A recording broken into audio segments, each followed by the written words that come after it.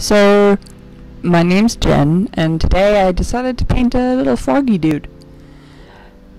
I kind of ummed and awed about whether or not I wanted this to have a voiceover, because a lot of the other paint with me's don't.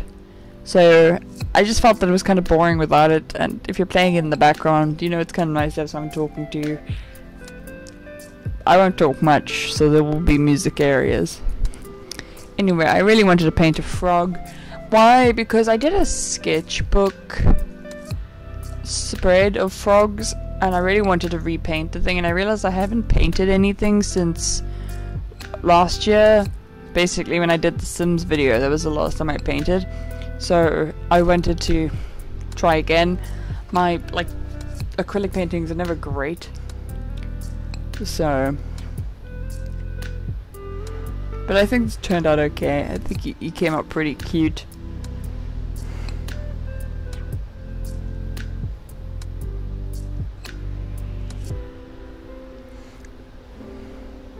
I got my reference of Pinterest. He's a green tree frog apparently. And you can see Phoebe and Puppy, they, they literally don't leave me alone. I do a thing a lot where I just kind of stand where I paint. Because I don't actually feel like sitting down the whole time. So sometimes I stand. Also, if I'm trying to concentrate, I'll end up standing when I'm painting.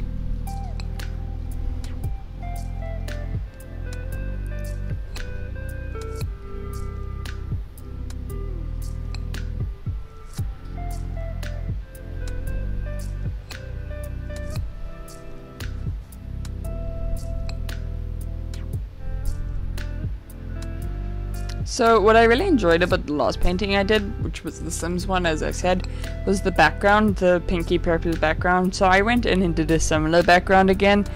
I just think thought it was really really fun to to have that pop of color. I was gonna go with the pop art frog style. I googled pop art animals and a frog came up and I was like, yeah, this is the sign. This is the sign that I need to paint a froggy boy.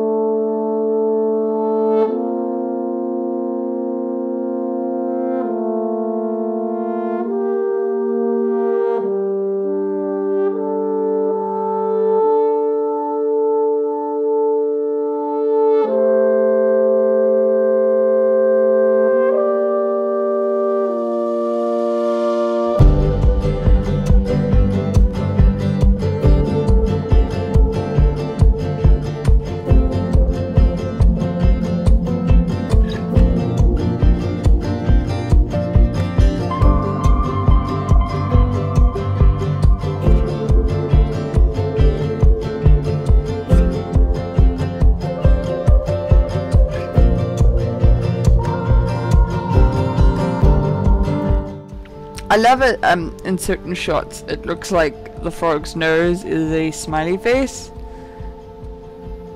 And I think that's really cute looking, even though it's not. I find that so funny.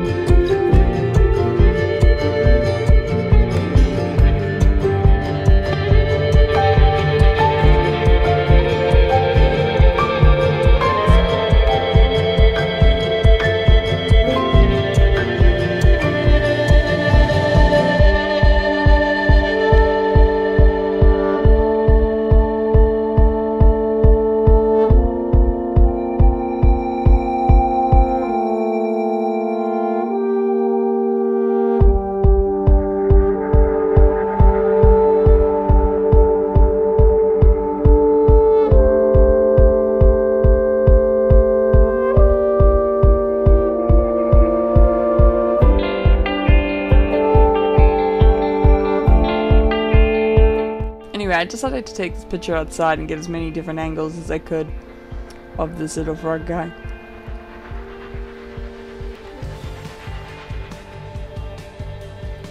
So as I said before, my name is Gen.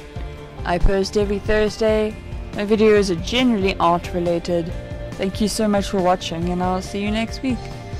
Bye!